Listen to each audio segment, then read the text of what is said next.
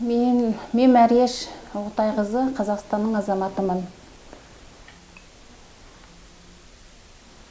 Менің менің арыз беру себебім іле қазақ автоном ра- район облысы алтай аймағы қаба ауданының м, сартам ауылының мәрия қыстағының бас имамы өкен өкен махметұлы эки миң он жети төртүнчү айдын э, жыйырма төртү э, жыйырма төртү күнү усталды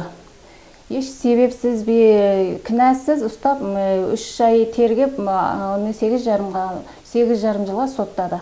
Қазір қызы түрмесінде жатыр деп естіп соған арыз беріп келіп отырған жайым бар. Мынау отбасы бала шағасы бала шағасы әйелі қараусыз қабауданның қаласында өз жандарын өздері бағып күлді көмеш күн көріп жатыр. Осыны э, қалай дейсің біле. Басшылықтан халықарадан болады иә барша мұқым ұйымдардан басшылықтан халықара ұйымдарынан осы кісіні босатуын талап етіп үміт етіп келіп отырмын. Көмек сұрап отырсыз көмек сұрап отырмын иә. Қазіргі жағдайы қалай екені белгісіз. Денсаулығы да аз адам болатын содан енді бір жазық жоқ бас ең кінәсі ә, имам болғандығы мұсылман болғандығы одан басқа себеп жоқ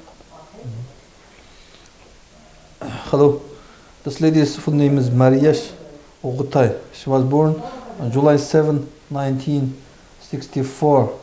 She is a citizen of Kazakhstan. Uh, she is here because uh, his brother-in-law, her brother-in-law, uh, his name is Öken Mahmud. Öken Mahmud was born in uh, in June 1st, 1968. Uh, this uh, this gentleman Öken, Ma- Öken Mahmud was arrested uh, in uh, in April 2nd, 2017. Uh, because the reason is uh, he was worked as an imam uh, in in Madi settlement, uh, Sart- Sartam village in Kaba County in Altai region in Ile Kazakh Autonomous Prefecture, Xinjiang, China. Uh, but uh, she said he was worked, uh, he was studied uh, the religious school the Chinese government founded, founded and worked, worked according to the permission of uh, local government, local Chinese government. And it is, he, he did nothing against the Chinese law. The Chinese police said he was, he was attended, the, attended and resided the religious ceremonies. Uh, but, uh, but she said he has all uh, certificates and uh, permissions uh, for the uh, religious work and uh, for the reside of the religious ceremonies.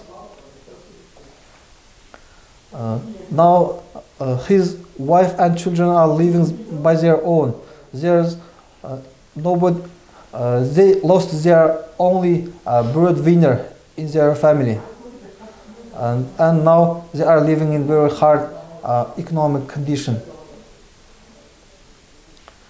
Uh, he, uh, she asks help from the international uh, human rights organizations and from the uh, Kazakhstan government. Uh, can help him released from Chinese prison. Uh, she said uh, his brother-in-law, Mr. Mr. Öken Mahmud, is innocent.